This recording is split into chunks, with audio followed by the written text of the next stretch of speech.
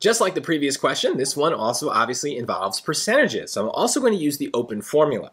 But this one is clearly more complicated. Now, first of all, it's not just a percentage, it's a percentage change, right? It's increased by 4% of the previous year's value. So that, that changes things slightly. Plus, it's not just a one-time change, it happens every single year, and that makes it an exponential equation.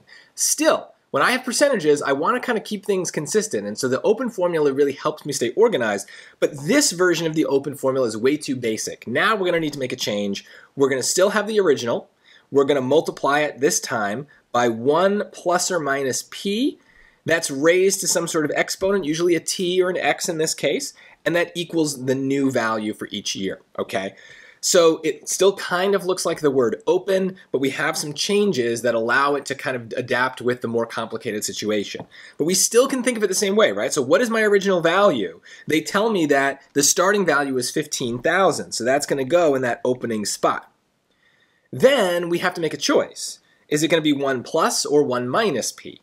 Well, the good thing about this formula is it just matches with our story like identically, right? It's very literal. They say it's an increase of 4%, so we're going to use the symbol for increase, plus.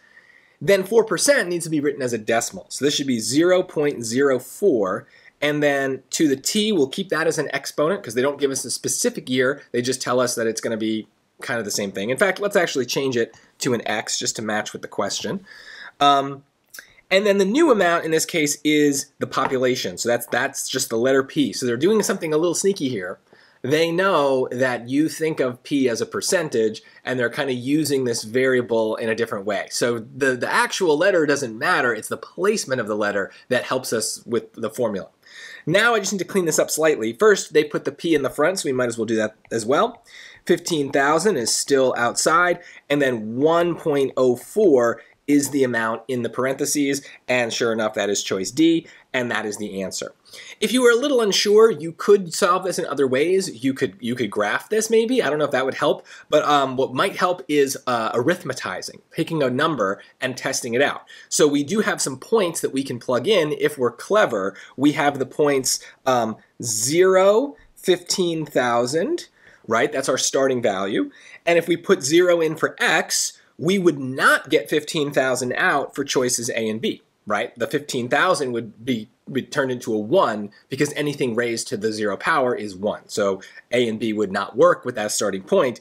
For the second point, we would just either need to look at the, the 0.96 versus the 1.04 and kind of think about it, or we could just do uh, in our calculator what would happen after one year. You might have your own ways of getting the percentage just by yourself, and so you might do, okay, 4% of 15,000 is 600. So if I increased by that amount, I would have 15,600, and that point is only going to fit in choice D. Uh, choice C would give us minus 600, so it would be uh, something like 14,400.